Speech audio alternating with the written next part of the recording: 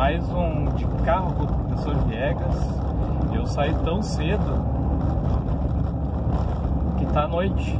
Agora começa a ficar mais frio e já começa de manhã ficar mais noite, né? Ficar noite no caso, né? Então, olha a escuridão aí. E eu saio cedo assim porque principalmente quando eu vou de carro, né? Ônibus também eu saio bem cedo, né? Mas de carro também eu saio cedo porque né, não pega um trânsito muito intenso, né? E aí acaba demorando mais ainda, né? Então eu acabo saindo mais cedo, pego um pouquinho menos de trânsito, né? Se bem que agora qualquer horário tem trânsito, né? Parei no posto para calibrar o pneu, nem me lembro quando foi a última vez. Eu tenho uma preguiça de parar para calibrar pneu. Sei. Um pneu tava com 20 libras e o outro tava com 18. E aqui no, no posto Garopa, calibrei, né? A gente nota a diferença, né? O carro fica bem parelhinho. É verdade. O que, que é a preguiça, né? Mas eu queria falar de uma coisa hoje que tenho pensado há algum tempo, né? Como as pessoas.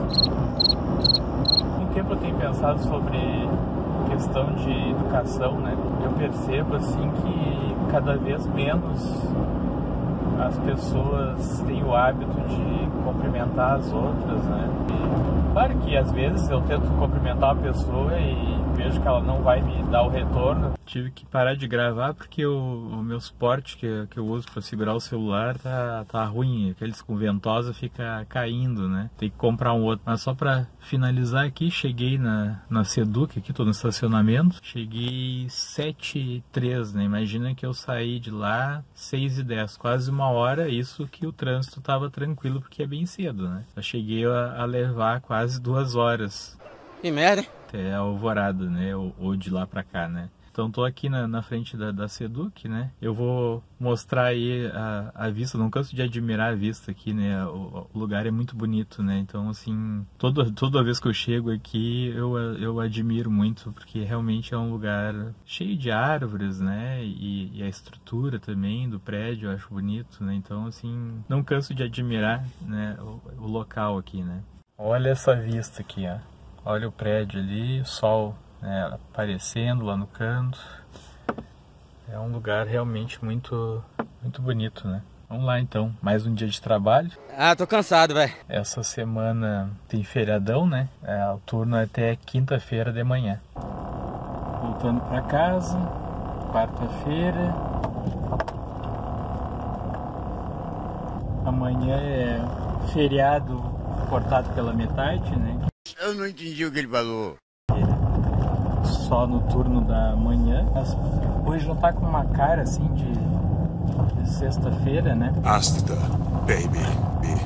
Queria falar também que nesse sábado não vai ter Viegas Cast. Né? Uh, vou dar uma, uma folga de vez em quando.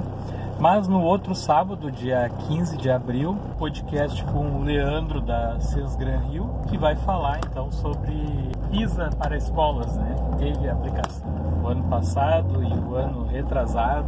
O ano passado eu, eu fui coordenador técnico. Não sabia. Da aplicação.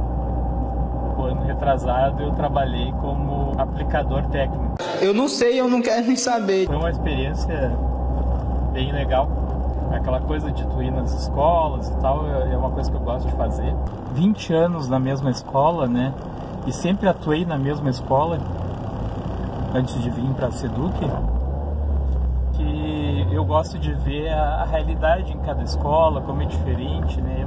E é muito interessante que a gente percebe assim a diferença de gestão, né? Escolas do mesmo tamanho, que talvez recebam a mesma verba e que são às vezes muito mais bem gerenciadas do que outras. Foi legal assim essa essa participação na aplicação do PISA, né? Porque depois eu coordenei, não saí, então né, fiquei acompanhando de fora, não fui nas aplicações diretamente, visitei até uma escola que estava ocorrendo aplicação. Aliás, eu visitei a escola que eu lecionava, né, que estava tendo aplicação. Ah, miserável! Mas aí foi bom, né, porque eu tinha tido essa experiência na prática antes, né, então me ajudou bastante. Mas uh, falando sobre, a, sobre o podcast, né, que eu vou fazer com, com o Leandro, uh, sobre a aplicação do PISA para escolas, então ele vai falar como é que vai ser as aplicações, se esse ano vai ter ou não. Uh, falar do, né, de uma maneira geral, porque não, mesmo que não tenha esse ano, provavelmente vai ter em, em, nos próximos anos, né? Então é bom ter uma noção como é que é o, o piso nas escolas, né? Tem um aplicativo né, específico, o Genison Replay, né? Que inclusive a gente instalou remotamente no, nos Chromebooks para fazer essa aplicação, né?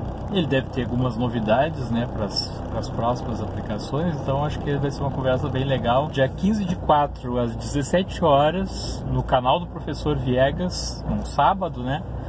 Um bate-papo aí com o Leandro da Sesgra Rio que vai falar sobre PISA nas escolas. Então não perca, né? Aproveita para fazer as perguntas se a sua escola já teve aplicação alguma vez e você imagina que poderá ter aplicação novamente, né? Aproveite esse momento para tirar dúvidas, né?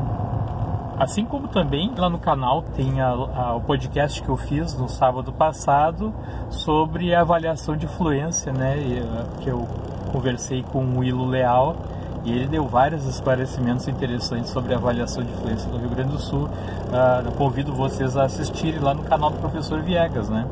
Eu, inclusive, eu fiz recortes, se você quiser escolher um, né, um assunto só, né? Dividimos em alguns assuntos, né? você não tiver tempo de assistir todos, mas está dividido, está recortado e tem a opção também de, de escutar no Spotify, né? Não tem motivo para você não estar tá bem informado, né? É.